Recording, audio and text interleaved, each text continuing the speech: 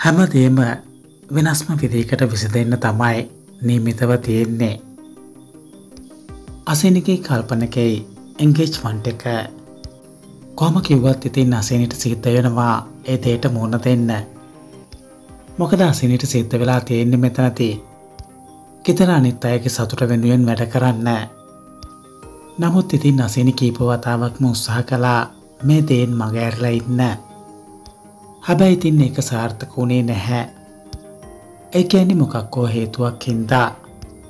අසනි මේ කල්පනව කසාද පතින එක නවත්තන්න ප්ලෑන් කරාට එක කරගන්න බැරි වුණා. හැබැයි තින්නේ හැම පාරකතිම අසේල තමයි ඒදේට වග කියන්න ඕනේ. ඒ හැම පාරකදිම කල්පනගේ පණිවිඩයකට තමයි අසෙල ක්‍රියාත්මක වුණේ.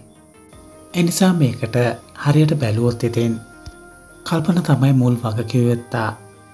අසෙන්නිට චාන්සකත් තිබ්බා උපන්දින පාටියේදී මේ දෙයින් මගඇරලා ඉන්න. ඒ ඇන්නේ උපන්දින පාටිය වෙලාවෙති අසිනට තීරණයක් ගන්න ඉඩහට තිබ්බා.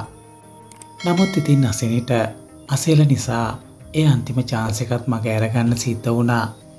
එතනදිත් ඉතින් සිද්ධ වුණේ දෙන්න හිටියටත් වැඩිය අන්තිමට තරාවෙන්න හැබැයි තින් එතනති අසිනිගේ අතෙත් වැරදි ගොඩක් තිබ්බා කොම වෙතත් ඉතින් අන්තිම අවස්ථාවත් අසිනිට නැති වුණා.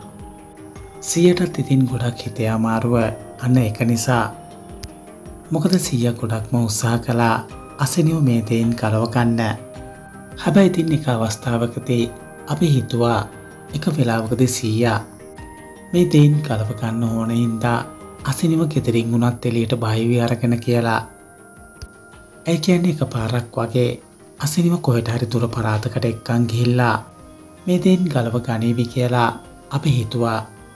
නමුත් ඉතින් මේ පාරනම් සියට ඒ වගේ දෙයක්වත් කරගන්න බැරි වුණා.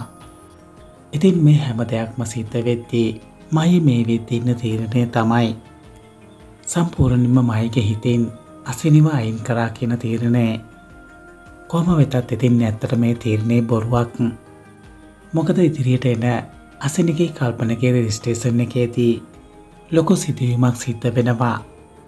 ඒ ඇනි කල්පනගේ අසිනිගේ රෙස්ටේෂන් එකේදී අසිනික දීරුන්දීමෙන් පස්සේ අසන් තැබීමේ අවස්ථාව උතාවෙන්නේ ඉතින්නේ අවස්ථාවදි තමයි අසින හිතුප නැති විදිහට අසනිට කෝල්ල එකක් එන්නේ. ඉතින් ඒ කෝල්ලකෙන් පස්සේ මේ හැම දෙයක්ම වෙනස් වෙනවා. ඒ කියන්නේ අන්තිම අවස්ථාවති අසනට තේරුම් යනවා. මයිගේ හිතේ තවමත් අසෙන ඉන්න බව. ඒ වගේම මේ අවස්ථාවති අසනිගේ උදව් මහිට අනිවාරෙන්ම ඕන බව. කොම නමුත් එතනති සිද්ධ වෙන අනතුරෙන් මයිව රෝහල් ගත කරන්න සිද්ධ වෙනවා.